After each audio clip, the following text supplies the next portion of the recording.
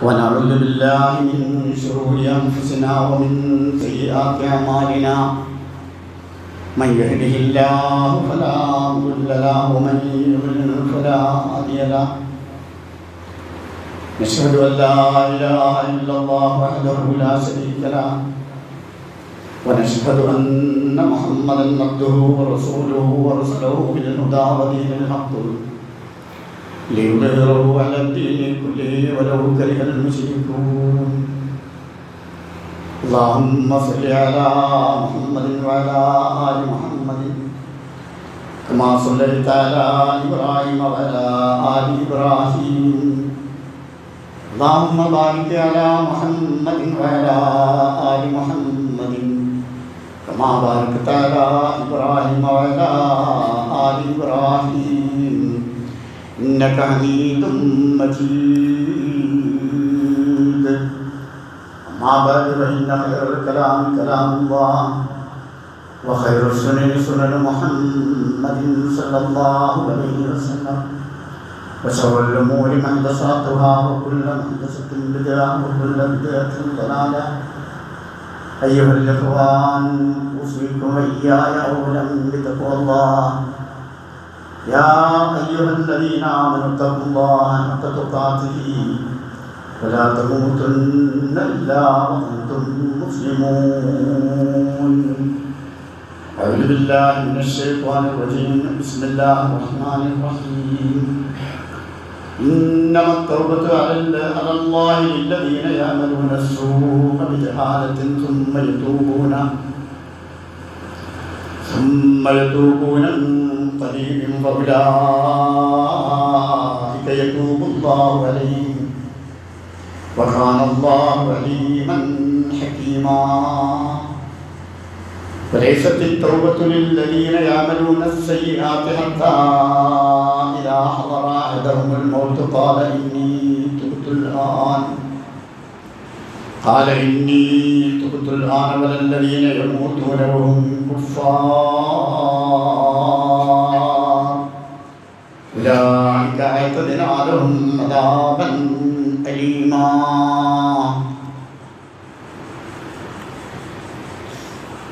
ആദരണീയരായ സത്യവിശ്വാസികളെ വിശ്വാസികളെ സൃഷ്ടാവായ നാഥനെ സൂക്ഷിച്ച് നല്ല മനുഷ്യരായി കഴിയണമെന്ന് ഞാൻ മനസ്സിലാക്കുന്നു നിങ്ങളെ നമ്മെ എല്ലാവരെയും മുത്തീങ്ങളുടെ കൂട്ടത്തിൽ ഉൾപ്പെടുത്തി അദ്ദേഹം വിശുദ്ധ റമദാനിന്റെ ഏറ്റവും അനുഗ്രഹീതമായ അവസാന പത്തിലേക്ക് നാം പ്രവേശിച്ചിരിക്കുക റമദാനിൽ ഏറ്റവും പവിത്രമാക്കപ്പെട്ട ദിനരാത്രങ്ങളാണ് ഈ അവസാനത്തെ പത്ത് എന്ന് നമുക്കൊക്കെ അറിയാം. അതിന്റെ ഏറ്റവും വലിയ പ്രത്യേകത ഈ അവസാനത്തെ പത്തിൽ ആണ്. അതിൽ ഒരു രാത്രിയിലാണ്. അള്ളാഹുവിന്റെ കലാമാരാണ് വിശുദ്ധ ഖുർആൻ ഇറക്കിയത്. നാം നേരത്തെ മനസ്സിലാക്കിയതുപോലെ ഖുർആൻ ഇറക്കിയത് റമദാൻ മാസത്തിലാണ്. ചെറു റമദാൻ അല്ലെങ്കിൽ ഖുർആൻ. ഖുർആൻ ഇറക്കിയ മാസമാണ് റമദാൻ മാസം. എന്നാൽ ഖുർആൻ ഇറക്കിയ രാത്രി ദിവസം അത് ലൈലത്തുൽ ഖദറിലാണ്. അപ്പോൾ ലൈലത്തുൽ ഖദറിൽ റമദാൻ മാസത്തിലെ ലൈലത്തുൽ ഖദറിൽ അള്ളാഹു സുബാനുഭവത്തായ വിശുദ്ധ ഖുർആൻ എല്ലാ രേഖകളും സൂക്ഷിച്ചു വച്ചിരിക്കുന്ന ലൗഹുൽ മഹ്ഫൂദിൽ നിന്ന് സമീപസ്ഥമായ ഉപരിലോകത്തേക്ക് ഇറക്കിയത് എന്നാണ് എന്നാണ് അതിന്റെ അർത്ഥം. മറ്റൊരു രൂപത്തിൽ ആ വിശുദ്ധ ഖുർആൻ മനുഷ്യർക്ക് മാർഗദർശനമായി മനുഷ്യരിലേക്ക് അവതീർണമായത് അഥവാ പ്രവാചകൻ സല്ലല്ലാഹു അലൈഹി വസല്ലമക്ക് ഇറക്കി കൊടുത്ത് അതിനാരംഭം കുറിച്ചത് ലൈലത്തുൽ ഖദറിലാണ്. ഇത് രണ്ടും അഭിപ്രായപ്പെടുന്നുണ്ട്.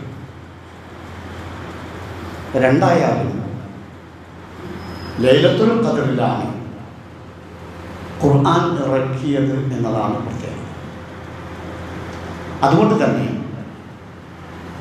ആ ലൈലത്തുൽ ഖദറിന് ഒരുപാട് സവിശേഷതകളുണ്ട് ഇന്നാ അൻസൽനാഹു ഫീ ലൈലത്തുൽ ഖദർ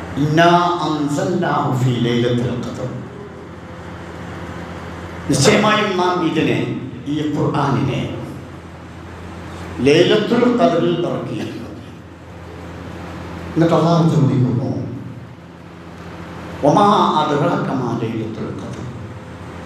എന്താണ് ലേലത്തുൽ ഖദർ? ലൈലത്തുൽ ഖദറിനെ സംബന്ധിച്ച് നിങ്ങൾക്ക് എന്തറിയാം ലൈലം എന്ന് പറഞ്ഞാൽ രാത്രി എന്നാണ് അർത്ഥം ഖദർ എന്ന് പറഞ്ഞാൽ അതിന് രണ്ടർത്ഥമുണ്ട്. ഒന്ന് കണക്കാക്കുക എന്നർത്ഥമുണ്ട്. മറ്റൊന്ന് മഹത്വപ്പെടുത്തുക എന്നർത്ഥമുണ്ട്. അപ്പൊ ലൈലത്തുൽ ഖദർ എന്ന് പറഞ്ഞാൽ ഒന്നുകിൽ മഹത്വമേറിയ രാത്രി അല്ലെങ്കിൽ കാര്യങ്ങൾ കണക്കാക്കുന്ന രാത്രി. എന്നാണ്. അതിന്റെ മഹത്വത്തിന്റെ അടിസ്ഥാന കാരണം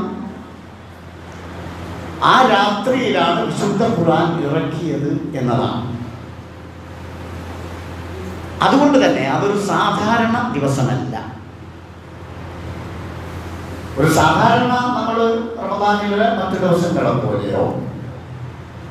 റമദാൻ അല്ലാത്ത മറ്റ് ദിവസങ്ങളെ പോലെയോ?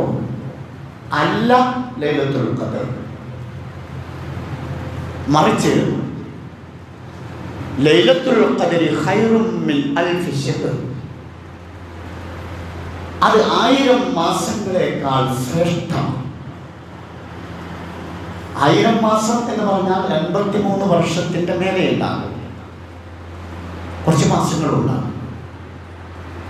എന്ന് പറഞ്ഞാൽ ഏതാണ്ട് ഒരു പുരുഷായുസിന്റെ അത്രയും ദൈർഘ്യമുള്ള ഇതാണ് ആയിരം മാസം. അതിനേക്കാൾ കൂടുതലാണ്. ഒരു പുരുഷായുസിനേക്കാൾ ശ്രേഷ്ഠകരമായ ഒരാളാണ് മനുഷ്യന്മാർക്ക് സാധാരണ ഒരു പത്ത് അറുപത് എഴുപത് എഴുപത്തഞ്ച് അൻപത് എൺപത്തഞ്ച് ഇല്ലേ? അത്രയൊക്കെയാണല്ലോ ഉണ്ടാവും പിന്നെ കുറച്ചും കൂടി അനുഗ്രഹിച്ചാൽ തൊണ്ണൂറ് തൊണ്ണൂറ്റഞ്ചൊക്കെ ഇഷ്ടം പോകും വളരെ ഒറ്റപ്പെട്ടാൽ അങ്ങനെയും കാണുന്നുണ്ട്. ചിലപ്പോൾ നൂറിലൊക്കെ എത്തി അള്ളാഹു നിശ്ചയിച്ച ഖദർ എത്രയാണോ അതുപോലെ. എന്നാൽ ആ കാലഘട്ടങ്ങളിൽ ഒരു മനുഷ്യൻ നിർവഹിക്കുന്ന ആരാധനാ കർമ്മങ്ങളിൽ അതാകത്തുക നോക്കിയാലും ആ ഒരൊറ്റ രാത്രിയുടെ അത്ര ഉണ്ടാവുക. അതാണ് എന്റെ ഒരു കാരണം പത്ത് പതിനഞ്ച് വർഷം നമ്മളുടെ ചെറുപ്രായം പോകുമല്ലോ പിന്നെ അതിൽ പ്രായാധിക്യത്തിന്റെ പ്രശ്നങ്ങളും അവശതയുമായിട്ട് അത്ര ആരാധനാ കഴിയാൻ കഴിയാത്ത സാധിക്കാത്ത അവസ്ഥയുണ്ടാവും. അപ്പോൾ ഒരു മനുഷ്യൻ ഒരു പുരുഷായുസിൽ ചെയ്യുന്ന നന്മകൾ സൽക്കർമ്മങ്ങൾ അതിനേക്കാൾ കൂടുതൽ ഒരൊറ്റ രാത്രിയിൽ പ്രതിഫലം ലഭിക്കുന്ന അതാണ് ലൈലത്തുൽ ഖദർ എന്ന് പറഞ്ഞാൽ. അപ്പോൾ ഒരു മനുഷ്യന്റെ ആയുസ്സിൽ കുറെ റമദാനുകൾ ഉണ്ടാവുകയും ആ റമദാനുകളിലെ ലൈലത്തുൽ ഖദറൊക്കെ നമുക്ക് ലഭിക്കുകയും ചെയ്യുകയാണെങ്കിൽ അതെത്രമാത്രം മഹത്തരമായിരിക്കും അത് ആലോചിച്ചൊക്കെ അതുകൊണ്ട് തന്നെ അള്ളാഹു സുബാനുവത്താല നമുക്ക് കനിഞ്ഞരുളിയ ഈ ഒരു അനുഗ്രഹീതമായ രാത്രിയെ പരമാവധി ഉപയോഗപ്പെടുത്താൻ നമുക്ക് കഴിയേണ്ടതുണ്ട്. തനസ്സലുൽ റബ്ബിഹിം മിൻ കുല്ലി മലക്കുകളും റൂഹും മലക്കുകളും ജുബിലിയിലാണ് ഉദ്ദേശിക്കുന്നത്. അവരുടെ നാഥന്റെ അനുമതി പ്രകാരം എല്ലാ കാര്യങ്ങളുമായിട്ട് അന്ന് ഇറങ്ങും എന്നാണ്. എന്ന് പറഞ്ഞാൽ ആ രാത്രിയിൽ ഒരു വർഷത്തെ കാര്യങ്ങളൊക്കെ തീരുമാനിക്കപ്പെടുന്നു എന്നാണ്. ലോകത്ത് നടക്കുന്ന ഗതിവിഗതികൾ സംഭവങ്ങൾ എല്ലാ പ്രശ്നങ്ങളും വിഷയങ്ങളും ഒക്കെ അത് അള്ളാഹു സുബാനുഭവത്താല രേഖപ്പെടുത്തി വെച്ചിട്ടുണ്ട് ലോഹുൽ മഹബൂബ് അത് ഓരോ വർഷവും ആ വർഷത്തിൽ നടക്കാൻ പോകുന്ന ഈ ലൈലത്തുൽ ഖദർ മുതൽ അടുത്ത ലൈലത്തുൽ ഖദർ വരെ സംഭവിക്കാൻ പോകുന്ന സംഗതികളുടെ തീരുമാനവുമായിട്ട് മലക്കുകൾ ഇറക്കപ്പെടും എന്നാണ്. അങ്ങനെ ജിബ്രീൽ അലഹിസ്സലാം അടക്കമുള്ള മലാക്കമാർ ലക്ഷക്കണക്കിന് മലക്കുകൾ ഇറങ്ങുന്ന രാത്രിയാണ് ലൈലത്തുൽ ഖദർ. അതുകൊണ്ട് തന്നെ ഭൂമി നിറയെ മലാക്കമാർ സന്നിഹിതരാകുന്ന ആ അനുഗ്രഹീതമായ ദിനം അല്ലെങ്കിൽ ആ അനുഗ്രഹീതമായ രാത്രി.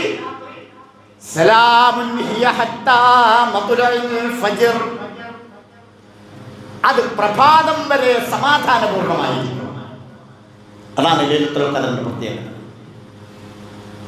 ഒരു സമാധാനമുള്ള ഏറ്റവും നല്ല ശാന്തഗംഭീരമായ ഒരു രാവായിരിക്കും ലൈലത്തുൽ ഖദർ എന്നാണ് ഇതിൽ നമുക്ക് മനസ്സിലാക്കാൻ കഴിയുക അതുകൊണ്ട് ഈ ലൈലത്തുൽ ഖദർ എന്ന് പറയുന്ന ഈ അനുഗ്രഹീതമായ രാത്രിയിൽ ജാഗരൂകരായിരിക്കാൻ സത്യവിശ്വാസികൾ സന്നദ്ധമാകേണ്ടതുണ്ട്. ഇത് നമുക്ക് ഇനി കിട്ടണമെന്നില്ല. അതുകൊണ്ട് തന്നെ അതിനെ പ്രതീക്ഷിച്ചിരിക്കണം. എന്തുകൊണ്ടാ പ്രതീക്ഷിച്ചിരിക്കണം എന്ന് പറയുന്നത്? അത് എപ്പോഴാണ് എന്ന് കൃത്യമായി അള്ളാഹു തആല അറിയിച്ചു തന്നിട്ടില്ല. ഒരിക്കൽ വസല്ലം അത് അറിയിച്ചു കൊടുത്തിരുന്നു. ഇനി ഉരീ വസല്ലം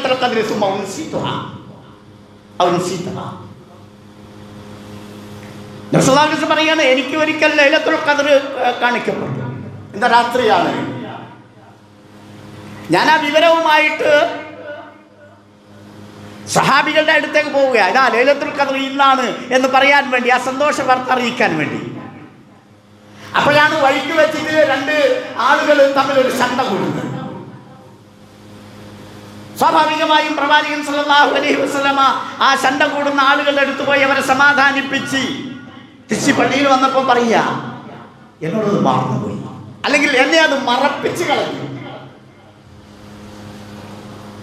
അപ്പം കൃത്യമായ ദിവസം എന്നതാണ് എന്ന് അറിയിച്ചു കൊടുത്തെങ്കിലും അത് ബഹുജനങ്ങളിൽ വിശ്വാസികളിൽ മനുഷ്യരിൽ അത് കൃത്യമായത് എപ്പോഴാണ് എന്ന് അറിയിക്കേണ്ടതില്ല അവരറിയേണ്ടതില്ല അതാണ് അവർക്ക് അനുഗ്രഹം എന്നാണ് ആ തീരുമാനത്തിൽ നിന്ന് മനസ്സിലാക്കാൻ കഴിയുന്നത്. എന്തുകൊണ്ടാണ്? അത് ഇന്ന ദിവസമാണ് കൃത്യമായിട്ടെന്ന് പറഞ്ഞാൽ നമ്മളൊരു സ്വഭാവം ഉണ്ടല്ലോ ചുളൂര് കാര്യം നേടുക എന്ന് പറയുന്നത്. ഇങ്ങനെയാ. മനുഷ്യരങ്ങനെയാ. ചുളൂര് കാര്യം നേടുക. വളഞ്ഞ വഴിയിൽ പെട്ടെന്ന് എളുപ്പത്തിൽ എന്ത് കിട്ടും. അല്ല അപ്പൊ എന്നാ പിന്നെ ആ രാത്രി മാത്രം ഇങ്ങ് ക്ലിയർ ആവുക നമ്മൾ ആ രാത്രി മാത്രം ഇങ്ങ് നമസ്കരിച്ച് കളിയാ. നോമ്പെടുത്ത് കളിയാ. പിന്നെ പ്രാർത്ഥിച്ച് കളിയാ. ഇരുത്തിക്കാതിരുന്ന് കളിയാ. അങ്ങനെയൊക്കെ ഉണ്ട്. അത് വേണ്ട.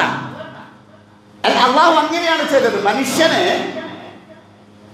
ശരിയായ നേർമാർഗത്തിലേക്കും സൽക്കർമ്മങ്ങളിലേക്കും വിവാദത്തുകളിലേക്കും ജാഗരൂകരാക്കാൻ വേണ്ടിയിട്ട് അള്ളാഹു സുബാനുവത്താല അത്തരം ചില പ്രയോഗങ്ങൾ നടത്തിയിട്ടുണ്ട്. വെള്ളിയാഴ്ചയിൽ ഒരു സമയമുണ്ട്. ആ സമയം കൃത്യമായി പറഞ്ഞിട്ടില്ല. അന്നേരം നോക്കിയിട്ട് നമ്മൾ പ്രാർത്ഥിച്ചത് അതുകൊണ്ട വെള്ളിയാഴ്ചയുടെ പകൽ രാവിലെ മുതൽ വൈകുന്നേരം വരെയുള്ള സമയം വരെ അള്ളാഹുവിനെ ഓർത്തും പ്രാർത്ഥിച്ചും കഴിയുന്നവരായിരിക്കണം വിശ്വാസികൾ എന്നതുകൊണ്ട് ആ സമയം ക്ലിപ്തപ്പെടുത്തി തന്നില്ല. അതുപോലെ ലൈലത്തുൽ എന്ന് പറയുന്നത് എപ്പോഴാണ് എന്ന് കൃത്യമായി പറഞ്ഞു കൊടുത്തില്ല. കാരണം അതിനെ പ്രതീക്ഷിക്കണം. എപ്പോഴാ പ്രതീക്ഷിക്കേണ്ടത്? പ്രവാചകൻ സല്ലല്ലാഹു അലൈഹി വസല്ലം ഫിൽ അത് റമദാനിന്റെ അവസാനത്തെ പത്തിലാണ്. ആ പത്തിൽ നിങ്ങൾ അതിനെ പ്രതീക്ഷിച്ചു കൊള്ളുക.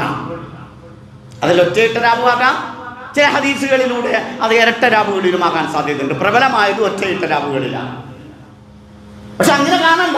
ഇന്നു മുതൽ ഇന്നു മുതൽ ശവ്വാൽ മാസപ്പിറവി കാണുന്നത് വരെയുള്ള രാത്രികൾ. അതിലേതെങ്കിലും ഒന്ന് ലൈലത്തുൽ കതറാവാൻ സാധ്യതയുണ്ടെന്ന് മനസ്സിലാക്കിയിട്ട് സത്യവിശ്വാസികളും വിശ്വാസിനികളും അള്ളാഹുവിലേക്ക് കൂടുതൽ അടുക്കാൻ ആരാധനാ നിമഗ്നരായി കഴിയാൻ പ്രാർത്ഥനാ നിർഭരമായ ജീവിതം നയിക്കാൻ പ്രതീക്ഷയോടെ അള്ളാഹുവിന്റെ മുന്നിൽ കുമ്പിടാൻ അള്ളാഹുവിനെ മഹത്വപ്പെടുത്താൻ വിശുദ്ധമായ വിശുദ്ധ ഖുർആൻ ഇറങ്ങിയ രാത്രിയായതുകൊണ്ട് തന്നെ ആ രാത്രിയെ പ്രതീക്ഷിച്ചുകൊണ്ട് വിശുദ്ധ ഖുർആനിന്റെ മഹത്വം അംഗീകരിച്ചതിനെ പാരായണം ചെയ്യാൻ അതിനെ പഠന വിധേയമാക്കാൻ അതിനെ പകർത്താൻ ആവശ്യമായ ഇടപെടലുകൾ നടത്താൻ.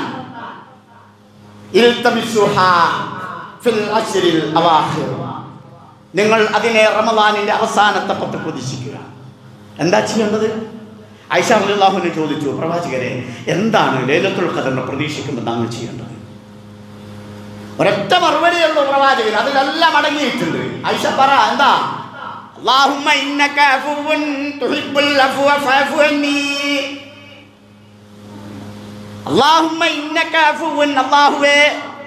നീ മാപ്പ് നൽകുന്നവനാണ്. വിട്ടുവീഴ്ചയെ മാപ്പിനെ നീ ഇഷ്ടപ്പെടുന്നവനാണ്. അതുകൊണ്ട് എനിക്ക് നീ മാപ്പ് നൽകണേ അല്ല. എനിക്ക് നീ വിട്ടുവീഴ്ച ചെയ്തു തരണമേ അല്ല. ഈ ഒരു പ്രാർത്ഥന കൊണ്ട് നിങ്ങളുടെ അസുറുല്ലവാഹിർ അവസാനത്തെ രാവുകൾ നിങ്ങൾ നിബിഡമാക്കണം. എന്ന് പറഞ്ഞാൽ അത് മാത്രം ചെയ്യണമെന്നല്ല.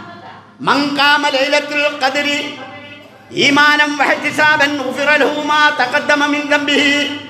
ആ ലൈലത്തുൽ കതിറിലൊട്ടൻ നിന്ന് നമസ്കരിക്കുകയാണെങ്കിൽ അവന്റെ കഴിഞ്ഞുപോയ എല്ലാ പാപങ്ങളും പൊറുക്കുന്നതാ. അപ്പം നമസ്കാരം. ഖുർആൻ പാരായണം പഠനം അല്ലേ? പശ്ചാത്താപം.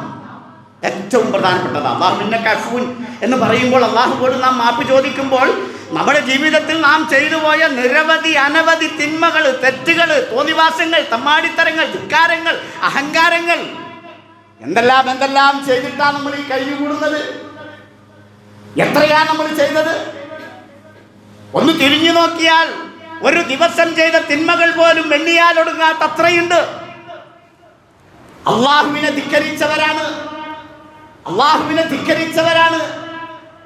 അള്ളാഹുവിനെ ഒരു വേള നിഷേധിച്ചവരാണ്. അള്ളാഹുവിന്റെ നിർദ്ദേശങ്ങൾ പ്രവാചകന്റെ ഉപദേശങ്ങൾ അംഗീകരിക്കാതെ താൻ തോന്നികളായി ജീവിച്ചു പോയവരാണ്. അങ്ങനെ ജീവിച്ചു പോയ മനുഷ്യന്മാർ. ആ മനുഷ്യന്മാർക്ക് അള്ളാഹു പ്രതീക്ഷ നൽകുകയാണ്. അവന്റെ കാരുണ്യം ചെറിയുകയാണ്. നിങ്ങൾ പശ്ചാത്തപിച്ചോളി. അവ സ്വീകരിക്കും. അത് അവസാനത്തെ പത്തിൽ നിങ്ങൾ നിർബന്ധമായും അനിവാര്യമായും നിരന്തരമായും നിങ്ങൾ പശ്ചാത്തപിക്കണം. യാ അയ്യുഹന്നാസ്. അള്ളാഹുവിന്റെ പ്രവാചകൻ പറയുകയാണ് മനുഷ്യരെ നിങ്ങൾ അള്ളാഹുവിലേക്ക് പശ്ചാത്തപിച്ച് മടങ്ങണേ. നിങ്ങൾ നശിച്ചു പോകരുതെന്നാ പറയുന്ന അർത്ഥം. അള്ളാഹുവിലേക്ക് നിങ്ങൾ പശ്ചാത്തപിച്ച് മടങ്ങണം. അതിലൊരു വിമുഖതയും പറ്റില്ല. ഞാനെന്ത് തെറ്റെന്നൊക്കെ വിചാരിക്കുന്നവരുണ്ടാവും. അത് നോക്കണം എന്തൊക്കെ ഉണ്ട് എന്നുള്ളത്. പക്ഷേ പ്രവാചകൻ പറയുന്നത് നോക്കുക ഞാൻ ഒരു ദിവസം നൂറ് തവണ അള്ളാഹുവിനോട് പശ്ചാത്തപിക്കുന്നവനാ. മാസുമാണ്. പാപമുക്തനാണ് പ്രവാചകൻ. ആ പ്രവാചകൻ പോലും ദിവനേന നൂറ് തവണ അള്ളാഹുവോട് പശ്ചാത്തപിക്കും. അതുകൊണ്ട് മനുഷ്യരെ ഒരുപാട് തെറ്റുകൾ ചെയ്യുന്നവരാണ് ആദമിന്റെ സന്തതികൾ അതിലേറ്റവും ഉത്തമന്മാർ പശ്ചാത്തപിക്കുന്നവരാ. അതുകൊണ്ടങ്ങ് പശ്ചാത്തപിച്ചേക്കണമേ എന്ന് അള്ളാഹുവിന്റെ പ്രവാചകൻ പറയുക അതിന് ഏറ്റവും പറ്റിയ ഏറ്റവും അനുഗ്രഹീതമായ അനുകൂലമായ ഒരു സാഹചര്യമാണിത് ഇതിലും പറ്റിയ സമയം വേറെ ഇല്ല നമുക്ക്. പശ്ചാത്തലിക്കാം അതിനെ കുറച്ച് കഴിയട്ടെ നോക്കണ്ട. എത്ര റമദാൻ വേണ്ട? പത്ത് നാൽപ്പത് വയസ്സായിക്കല്ലേ ഉള്ളൂ. ഇനിയും ഉണ്ടല്ലോ കുറെ റമദാൻ. ആര് കണക്കാക്കി? ആര് പറഞ്ഞു അത്? അങ്ങനെ നീട്ടി വെക്കുന്നവന് തൗബ ഇല്ല എന്നാ പറയുന്നത്.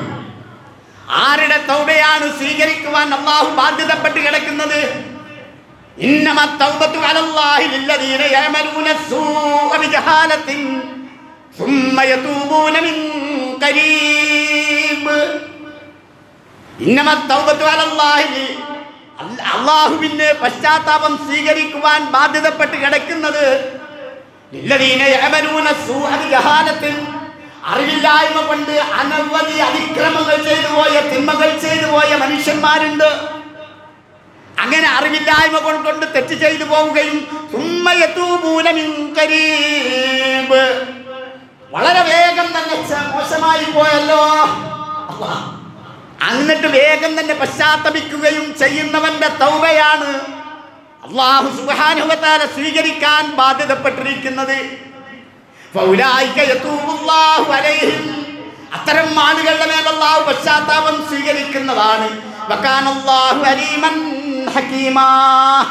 അള്ളാഹു സർവജ്ഞനാ യുക്തിജ്ഞനാ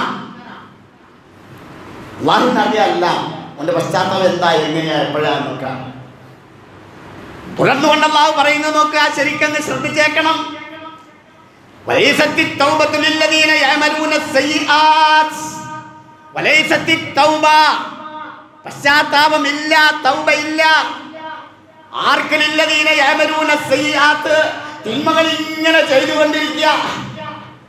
തോന്നിവാസിയായി ജീവിച്ചുകൊണ്ടേയിരിക്കുക. അല്ലെങ്കിൽ ഏതെങ്കിലും ഒരു തിന്മ അവൻ ഇങ്ങനെ അതിന്റെ അവന്റെ നിത്യജീവിതത്തിൽ അത് ശീലമാക്കി അവൻ ഇങ്ങനെ കൊണ്ടാടുക്കുക.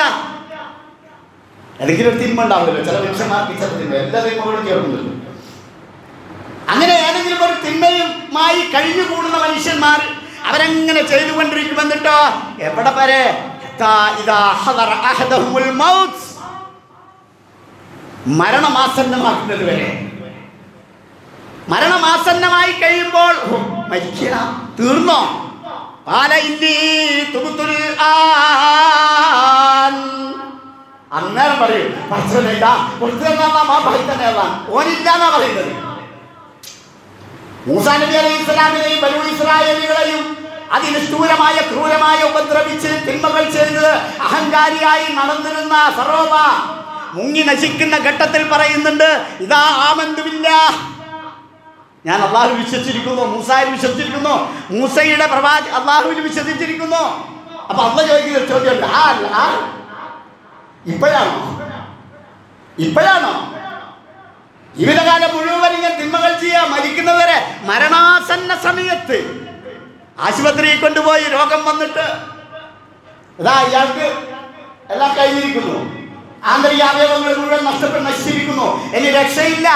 മരണമാണ് നീ വെള്ളൂ എന്ന് മാത്രം പ്രതീക്ഷിക്കുന്ന ഒരവസ്ഥയിൽ അപ്പൊ നേരോ?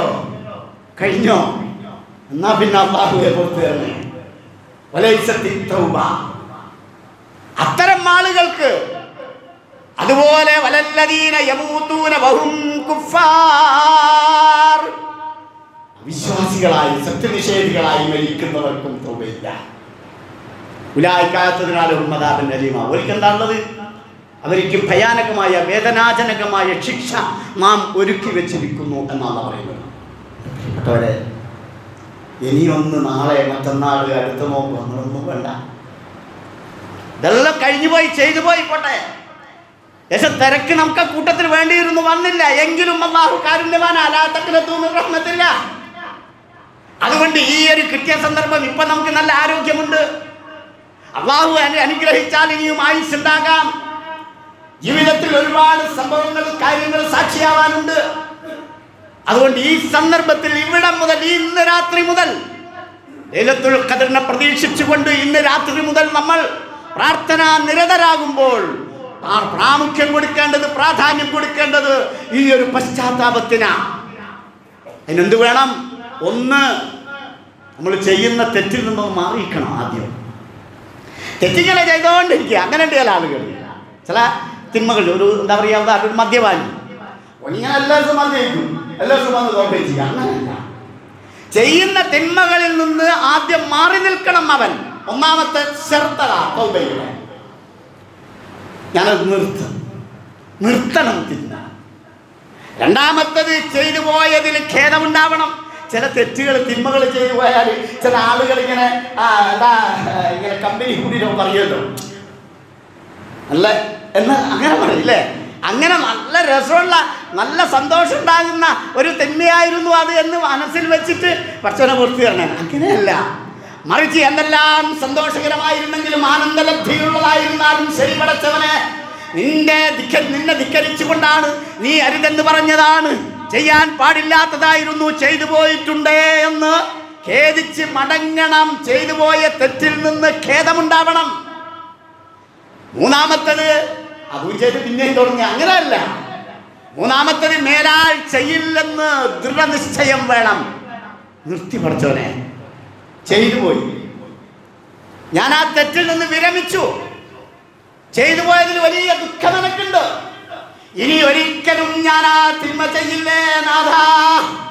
അള്ളാഹുവോട് കൈ ഉയർത്തുമ്പോൾ കണ്ണീരൊഴുക്കി പറയാൻ നമുക്ക് കഴിയണം. അതുപോലെ കടമകൾ നിർവഹിക്കുകയും മനുഷ്യരുമായി ബന്ധപ്പെട്ട പ്രശ്നങ്ങളും വിഷയങ്ങളും തീർക്കണം. മറ്റവനെ ചീത്ത പറഞ്ഞിട്ടുണ്ടെങ്കിൽ എന്നോട് ഇങ്ങനെയൊക്കെ പറഞ്ഞു വെച്ചിട്ടുണ്ട് റമദാനല്ലേ? അവസാനത്തെ പത്താണ് പശ്ചാത്തപിക്കേണ്ട സമയമല്ലേ? പൂർത്തി തരണട്ടോ പൂർത്തി തരണട്ടോ ആർജവത്തോടെ പറയണം. അതിനൊരു കുഴപ്പമില്ല ഒരു കുറവുമില്ല. അതൊരു ദറജ ഉയർത്തുന്ന പരിപാടിയാണ് അപ്പം മനുഷ്യന്മാരുമായുള്ള ബന്ധങ്ങളും ഇടപാടുകളും ഒക്കെ തീർക്കാൻ കഴിയണം. തുടർന്ന് അങ്ങോട്ട് മേലിൽ നല്ല നില പുലർത്തണം.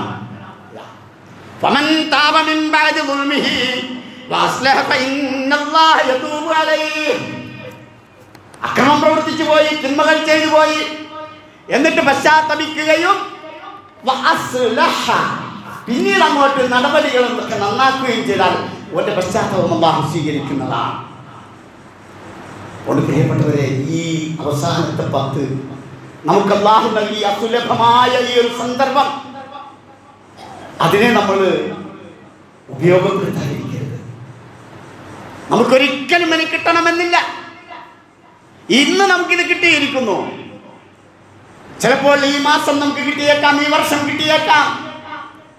നമ്മുടെ ഏറ്റവും മുഖ്യമായ അജണ്ട ഈ ലൈലത്തുൽ ഖദറിനെ പ്രതീക്ഷിച്ചുകൊണ്ട് അവസാനത്തെ രാത്രികൾ ആരാധന നിരതരായി കഴിയുമ്പോൾ പശ്ചാത്താപികളായി മാറുക എന്നതാണ്. അതിന് പറ്റിയ രൂപത്തിൽ ഈ അവസാനത്തെ പത്തുകൾ ഈറ്റിക്കാതിരിക്കണമെന്നാണ് അള്ളാഹിന്റെ പ്രവാചക പറയുന്നത്. റമദാനിലെ എല്ലാ അവസാനത്തെ പത്തിലും ഈറ്റിക്കാതിരുന്നു فلما كان العام الذي قبض فيه اعتكف 20 يوما പറയുക എല്ലാ റമദാനിലും അള്ളാഹുവിന്റെ പ്രവാചകൻ ഈറ്റിക്കാതിരുന്നു പത്ത് ദിവസം എന്നാൽ നബി സല്ലല്ലാഹു അലൈഹി വസല്ലം വഫാത്തായ വർഷം ഇരുപത് ദിവസം ഇരുന്നിരുന്നു ഈത്തിക്കാവ് എന്ന് പറഞ്ഞാൽ എന്താ ഈത്തിക്കാവ് എന്ന് പറയുന്നത് അള്ളാഹു സുബാനുഭവത്താര ദുനിയവിയായ എല്ലാ വിഷയങ്ങളൊക്കെ ഒന്ന് മാറ്റി നിർത്തി എല്ലാ കെട്ടുപാടുകളും ഇടപാടുകളും മനുഷ്യനിങ്ങനെ എന്താ പറയുക തിരക്കിലല്ലേ? ഭയങ്കര തിരക്കിലല്ലേ? നമ്മൾ ഓടുകയാണല്ലോ. എവിടത്തേക്കാണ് ഓടുന്നത്? കവറിലേക്കാട്ടോ അവസാനം എത്തുന്നത് ഓടി ഓടി. പക്ഷെ നമ്മൾ ഓടുന്നത് മുഴുവൻ എന്തിനാണെന്ന് നമുക്ക് പോലും അറിയില്ല. എന്തെല്ലാമോ ലക്ഷ്യം വെച്ച് ഇങ്ങനെ പായ സമയമില്ല ഒരു നിമിഷമില്ല ഒരു മണിക്കൂർ പോലും ഫ്രീ ഇല്ല. ഒന്ന് സ്വസ്ഥമായിട്ട് കിടക്കാൻ കഴിയുന്നില്ല. അത്രയും തിരക്കില പ്രിയപ്പെട്ടവരെ റമദാനിന്റെ അവസാനത്തെ പത്തിൽ കഴിയുമെങ്കിൽ ആ തിരക്കുകളൊക്കെ ഒന്ന് മാറ്റിയിട്ട് പരമാവധി പള്ളിയിൽ തന്നെ വന്നൊന്ന് ഭജനമിരിക്കുക. എത്തിക്കാതിരിക്കുക ഞാൻ എത്തിക്കാതിരിക്കുക എന്ന് പറഞ്ഞു. നിൽക്കണം ഉറങ്ങിയല്ല ഈത്തിക്കാഫിന്റെ നീയത്ത് ചെയ്ത് കിടന്നുറങ്ങിയാൽ ചിലപ്പോൾ ഈത്തിക്കാഫ് തത്വത്തിൽ ഫലപ്രദമായിരിക്കും. പക്ഷേ ഈത്തിക്കാഫിന്റെ അന്തസ്സത്തെ ഉൾക്കൊള്ളണം. എന്നിട്ട് അവിടെ വെച്ച് അള്ളാഹുവിനോട് പ്രാർത്ഥിക്കണം ദിക്ർ ചെല്ലണം നമസ്കരിക്കണം ഖുർആൻ ഓതണം പഠിക്കണം. അതാ. ഫിൽ ഗൈരിഹി. ആയിഷ പറയുകയാണ്. പ്രവാചകൻ സല്ലല്ലാഹു അലൈഹി വസല്ലം അതെ. ആയിഷ പറയുകയാണ് കാന റസൂലുള്ളാഹി സല്ലല്ലാഹു അലൈഹി വസല്ലം ഫിൽ ഗൈരിഹി. ദിവസങ്ങളെക്കാൾ അള്ളാഹുവിന്റെ പ്രവാചകൻ റമദാനിന്റെ അവസാനത്തെ പത്തിൽ തീവ്രമായ പരിശ്രമം നടത്തുമായിരുന്നു. ആ. കഠിനമായി പ്രയത്നിക്കുമായിരുന്നു. എന്ത് പ്രയത്ന? കൈക്കോട്ട് പറഞ്ഞിരിക്കലല്ല പള്ളിയിൽ നിന്ന് അള്ളാഹുവിനോട് പ്രാർത്ഥിക്കുക തന്നെ. അള്ളാഹുവിനെ ഓർക്കുക കുമ്പിടുക കുനിയുക. നമ്മുടെ കരളുകൾ കനിയുന്ന രൂപത്തിൽ നമ്മുടെ കണ്ണുനീർ ഒഴുകുന്ന രൂപത്തിൽ അള്ളാഹുവോട് പാപമോചനം തേടുക. ഒരു പത്ത് ദിവസം മുന്നൂറ്ററുപത് ദിവസം അല്ലേ പത്ത് ദിവസം അങ്ങനെയാക്കാൻ കഴിഞ്ഞാൽ അലഹമില്ല നമുക്ക് ലീലത്തുൽ ഖദറിൽ ലഭ്യമായി. ഇതാ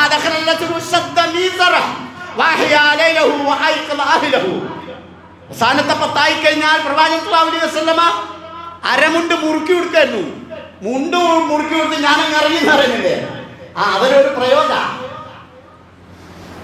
മുണ്ട് മുറുക്കി ഉടുക്കുമായിരുന്നു.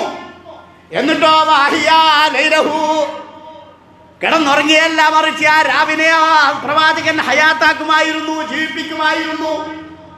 സ്വന്തമല്ല വിളിക്കും വിളിക്കും വീട്ടിലുള്ളവരെ വിളിക്കും. നമ്മളെ നമ്മെ സൃഷ്ടിച്ച് നമുക്ക് ഈ സൗകര്യം ഈ വീട് തന്ന ഈ ഭക്ഷണം തരുന്ന വായുവും വെള്ളവും തരുന്ന ഊർജവും പ്രകാശവും തരുന്ന ആരോഗ്യം തന്ന ആയുസ് തന്ന ഹിതായത്ത് തന്ന തക്വ തന്ന. നമ്മുടെ നാഥൻ അവ നമ്മ വിളിക്കുന്നുണ്ട്. നമ്മെ സ്വീകരിക്കാൻ സംതൃപ്തനായി ഒരടിമയായി അള്ളാഹു നമ്മെ സ്വീകരിക്കാൻ ഇതാ. ഈ രാത്രിയിൽ ഈ രാത്രികളൊന്ന് എഴുന്നേൽക്കുക. ഒക്കെ ഒന്ന് ഉറക്ക് ഒക്കെ ഒന്ന് മാറ്റി നിർത്തിയിട്ട്. വായിക്കലാഹിലോ അങ്ങനെയായിരുന്നു പ്രവാചകൻ. പ്രാർത്ഥനകൾ വർദ്ധിപ്പിക്കണം ആ കൂട്ടത്തിൽ പറയട്ടെ. ഏത് പ്രാർത്ഥന എന്നറിയോ പ്രാർത്ഥിക്കുമ്പോൾ ഒന്നാമതായി സ്വന്തം കാര്യത്തിൽ പ്രാർത്ഥിക്കണം. നമ്മുടെ പരലോക വിജയം. നമ്മുടെ ഇഹലോക വിജയം രണ്ടും വേണം.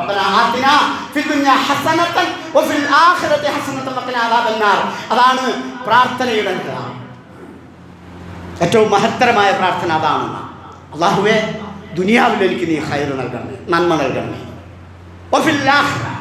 പരലോകത്തും ചെയ്യണമേ വഖിനാ അദാബന്നാർ. ആത്യന്തികമായി നരകത്തിന്റെ ഭയാനകമായ ശിക്ഷയിൽ നിന്ന് ഞങ്ങളെ കാക്കുകയും ചെയ്യണമേ നാഥ.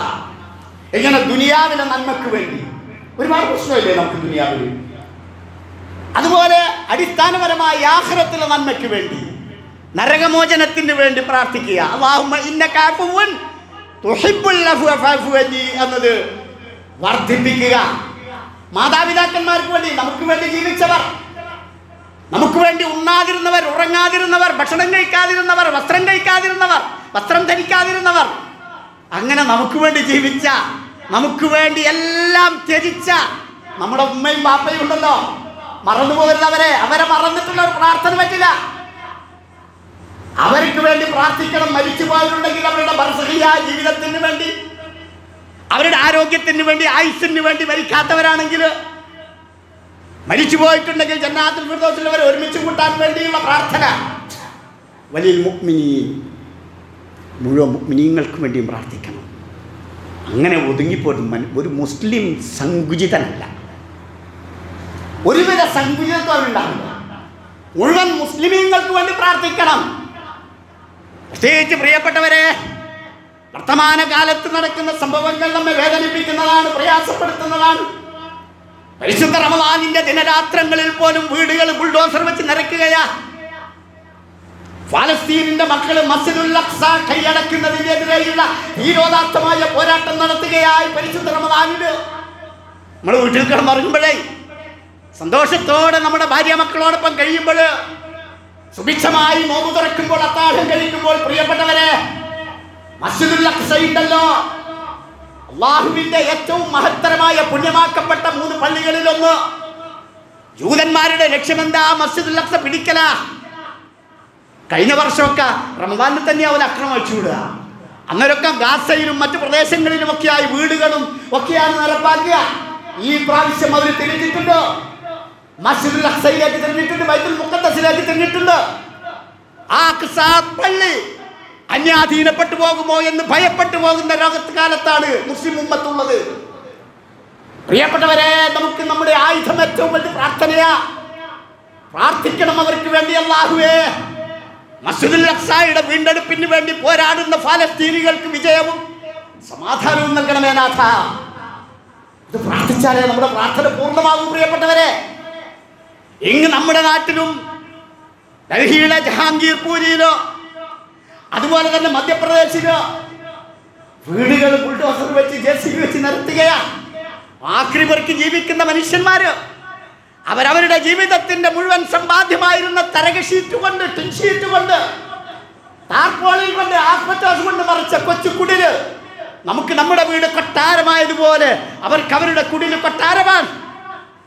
പ്രിയപ്പെട്ടവരെ നമ്മുടെ രാജ്യത്തിന്റെ തലസ്ഥാന നഗരിയിൽ അതിനിഷ്ഠൂരമായ രൂപത്തിൽ നമ്മുടെ സഹോദരന്മാരുടെ നമ്മുടെ സഹോദരിമാരുടെ നമ്മുടെ പിഞ്ചോദനകളുടെ വാവിട്ട് നിലവിളികളെ പൈശാചികമായി തള്ളിമാറ്റിക്കൊണ്ട് ഉള്ളോസിൽ വെച്ച് നിരത്തിയിട്ട് തെരുവിലേക്ക് ഇറക്കപ്പെട്ടിട്ടുണ്ട്. പട്ടിണി കിടക്കുന്നുണ്ടവര് റമവാനിന്റെ വ്രതാനുഷ്ഠാനങ്ങൾ കൃത്യമായി നിർവഹിക്കാൻ കഴിയാതെ വരുന്നുണ്ടവർക്ക് ഇന്ത്യയുടെ പല സംസ്ഥാനങ്ങളിലും ഈ റമവാനിന് അഴിച്ചുവിട്ട അതിക്രമങ്ങൾ ഫാസിസ്റ്റുകൾ പ്രിയപ്പെട്ടവരെ മറക്കാതെ പോകരുത്. നാളെ എന്താണ് അവസ്ഥ എന്ന് പറയാൻ പറ്റും? അള്ളാഹു കാത്തുരക്ഷിക്കുമാറാവട്ടെ. അവർക്ക് വേണ്ടി സഹായിക്കണം. അവരോട് ഐക്യദാർഢ്യം പ്രകടിപ്പിക്കണം. ഓരാ അവർക്ക് വേണ്ടി പ്രാർത്ഥിക്കണം. മുസ്ലിം ഉമ്മത്തിന് വേണ്ടി പ്രാർത്ഥിക്കണം പ്രിയപ്പെട്ടവരെ. ഈ ഉമ്മത്തിനെ സഹായിക്കാൻ അള്ളാഹുവേ ഉള്ളൂ നമുക്ക്. അള്ളാഹു ഉണ്ട് എന്ന ഉത്തമ ബോധ്യമുണ്ടാവണം. ഈ അവസാനത്തെ പത്തിന്റെ പ്രാർത്ഥനാ നിരതമായി കഴിയുന്ന രാവുകളിൽ പ്രിയപ്പെട്ടവരെ മുസ്ലിം ഉമ്മത്തിന് വേണ്ടിയുള്ള പ്രാർത്ഥനയും കൂടി നിർവഹിക്കണമെന്ന് ഓർമ്മപ്പെടുത്തുകയാണ് അള്ളാഹു അനുഗ്രഹിക്കുമാറാവട്ടെ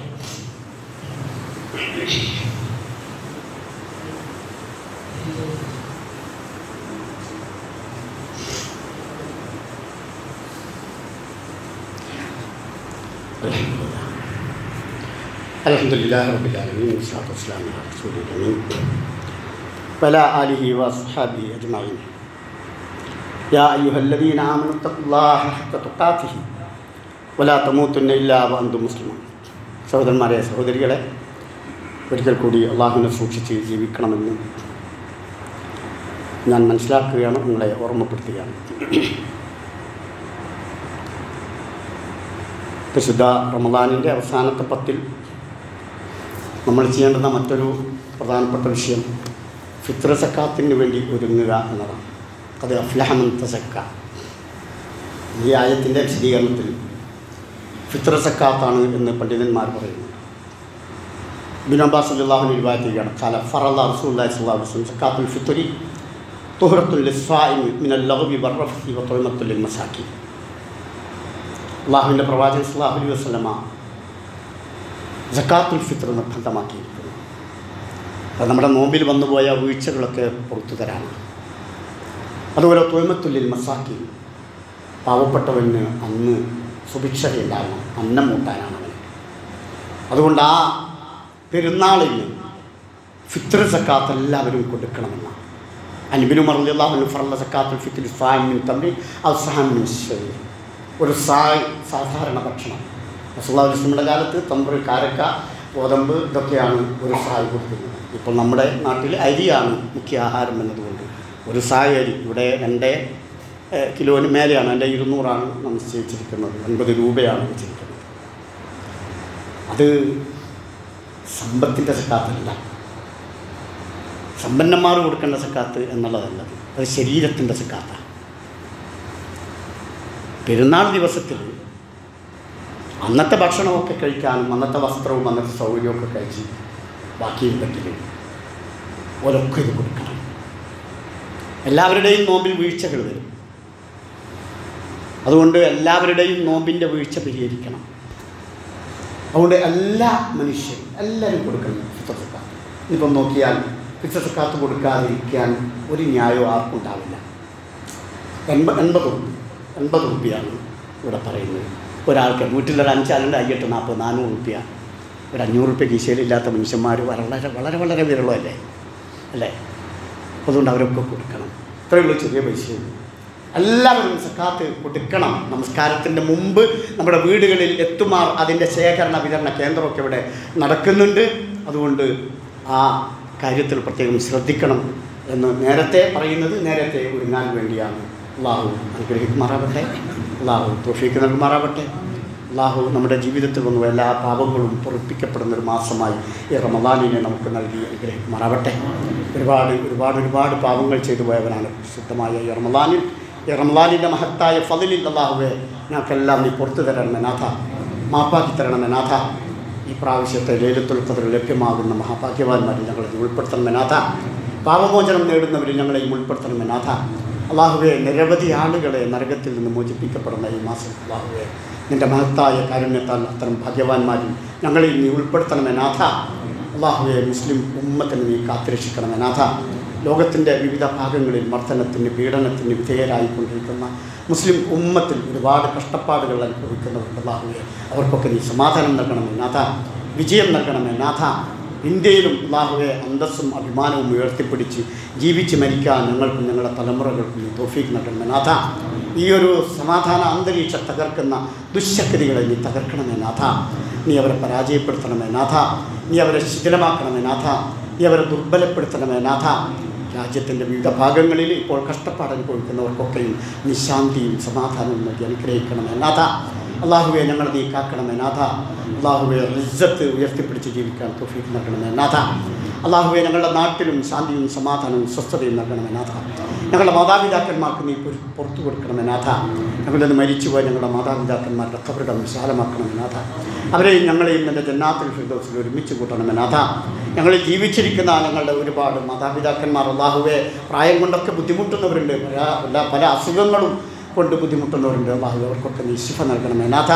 എല്ലാ ശിഫയും നൽകി അനുഗ്രഹിക്കണമേ നാഥ. ആരോഗ്യവും ആയുസ്സും നൽകണമേ നാഥ. ഞങ്ങൾക്കും ആരോഗ്യത്തോടെയുള്ള നല്ല ആയുസ് നൽകി അനുഗ്രഹിക്കണമേ നാഥ. അള്ളാഹു നിന്റെ മഹത്തായ കാരുണ്യത്താൽ ഹിതായത്തും തക്വയും ലഭിക്കുന്ന ഭാഗ്യവാന്മാരിൽ ഞങ്ങളെ നീ ഉൾപ്പെടുത്തണമേ നാഥ. ഈ റമദാൻ സമ്പൂർത്തീകരിക്കുന്ന സജ്ജനങ്ങളിൽ ഞങ്ങളെ നീ ഉൾപ്പെടുത്തണമേ നാഥ.